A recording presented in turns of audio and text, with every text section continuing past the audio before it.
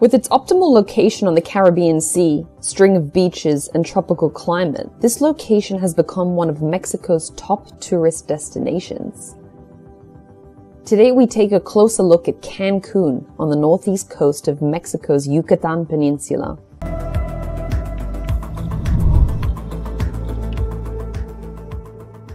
In this image, Cancun can be seen in the bottom right corner, shrouded in clouds.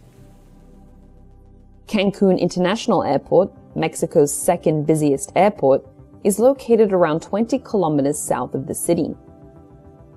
The Cancun Island Resort area, visible just off the coast, is shaped like the number 7 and is around 22 kilometers in length.